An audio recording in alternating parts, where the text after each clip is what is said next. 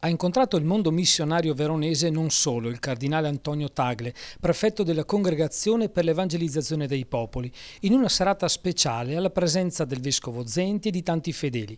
Il vescovo di Verona ha ripercorso la storia della missione della diocesi e poi la serata si è svolta in modalità di dialogo. Il cardinale ha sottolineato fin da subito alcuni passaggi del messaggio di Papa Francesco per la recente giornata missionaria mondiale. Da dove viene lo zelo degli apostoli?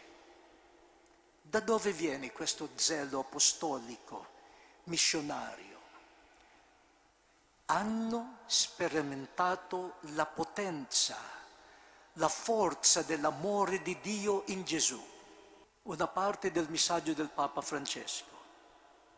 L'amicizia con il Signore vederlo curare i malati, mangiare con i peccatori, nutrire gli affamati, avvicinarsi agli esclusi, toccare gli impuri, identificarsi con i bisognosi, invitare alle beatitudini, insegnare in maniera nuova e piena di autorità, lascia un'impronta indelibile, capace di suscitare stupore è una gioia espansiva e gratuita che non si può contenere.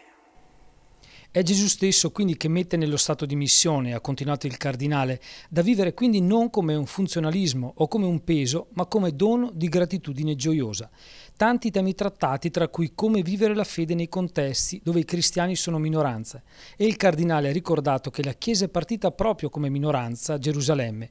Ha invitato infine ad essere coraggiosi e creativi. La missione è una storia di amore e fi- finirò con questa, uh, queste parole di Papa Francesco.